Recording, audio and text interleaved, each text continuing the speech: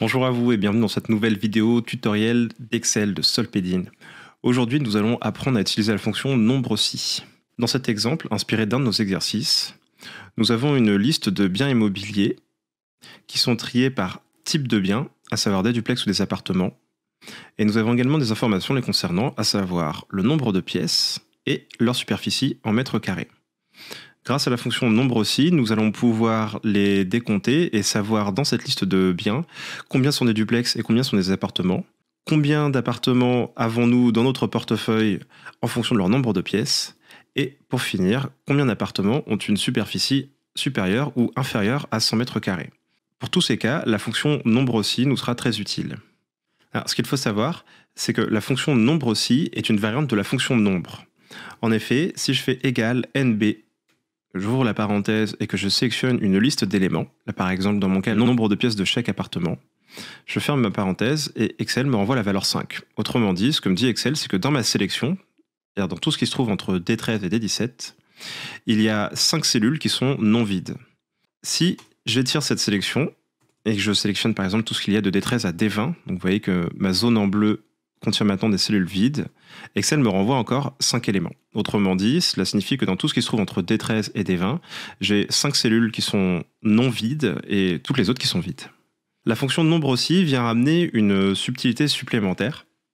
C'est qu'elle va nous permettre de décompter le nombre d'éléments d'une liste si un certain critère est respecté. D'où le nom nombre si. Je vais donc écrire égal nb.si et Excel me demande alors deux choses. Une plage, ce qui correspond à la liste d'éléments qui contient ce que je souhaite décompter, et un critère. Autrement dit, le critère à respecter pour que l'élément soit décompté. Dans ce premier exemple, ce que je souhaite compter, c'est le nombre d'appartements. Il y a deux manières de le faire et je vais vous montrer les deux. La première, ça consiste à sélectionner la liste de mes biens immobiliers dans la colonne type, faire point virgule, et puis venir écrire entre guillemets appartement Attention à vous, Excel est sensible à la casse. Donc, étant donné que le mot appartement est écrit avec un A majuscule, je l'ai également écrit avec un A majuscule. Je ferme ma parenthèse, je fais entrer, et vous pouvez voir que la fonction de nombre aussi me renvoie la valeur 3. Autrement dit, il y a trois appartements dans la liste que je lui ai donnée. La deuxième possibilité, plutôt que d'écrire le critère soi-même, c'est de venir en fait récupérer le critère s'il a déjà été écrit dans une cellule. Et c'est exactement le cas de notre tableau. Comme vous pouvez le voir, au lieu d'écrire duplex entre guillemets, ce que je peux faire, c'est venir cliquer sur la cellule G14 qui est juste à côté, dans laquelle le mot duplex est déjà écrit. Je ferme ma parenthèse, je fais entrer, et vous voyez qu'Excel a été capable de reconnaître le critère duplex et me dire que dans la liste que je lui ai donnée, il y a deux biens qui sont des duplex. Dans ce premier exemple, nous avons vu que la fonction nombre aussi permet de décompter un nombre d'éléments dans une liste en fonction d'un critère qui était en l'occurrence un mot, autrement dit une chaîne de texte, une chaîne de caractères. La fonction nombre aussi fonctionne également s'il s'agit de chiffres ou de nombres qui sont en jeu. Ça va être le cas de notre deuxième tableau. Dans cet exemple, je souhaite décompter le nombre de biens immobiliers en fonction du nombre de pièces qu'ils ont. Je vais donc écrire égal nombre aussi. Cette fois-ci, ma plage se trouve entre D13 et D17. Et ce que je n'ai pas fait tout à l'heure, je vais rajouter des signes dollars. Alors si vous ne comprenez pas pourquoi je fais ça, je vous renvoie à la vidéo dédiée qui apparaît en haut à droite de l'écran ou dont vous retrouverez le lien dans la description.